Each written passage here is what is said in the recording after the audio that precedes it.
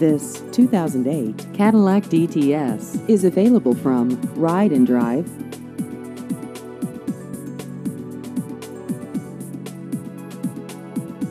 This vehicle has just over 34,000 miles.